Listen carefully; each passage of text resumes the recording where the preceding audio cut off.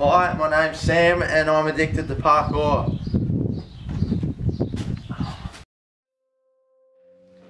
It started off as something Sam used to pass time. And to begin with, we all thought the parkour could be a great opportunity to get him fit.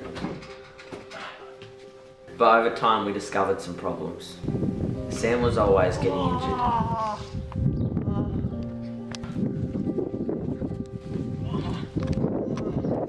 No, sorry coach, I can't play this weekend. I did an ACL in my toe. And he had no time for his mates. No, Jack, I can't come see you, mate. I've got plans. Um, yeah, I think I'll be busy. I think I speak on everyone's behalf when I say it's just disgraceful, it's disgraceful, disgraceful, disgraceful. Yeah, g'day, Gavin here. Oh, just been having a bit of trouble with me son Magneto. He's uh, gotten addicted to this parkour stuff.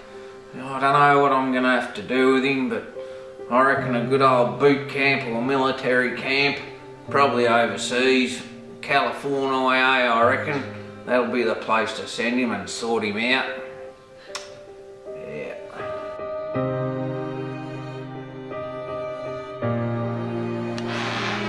See ya. See, Mag man, I'm back a better man, alright?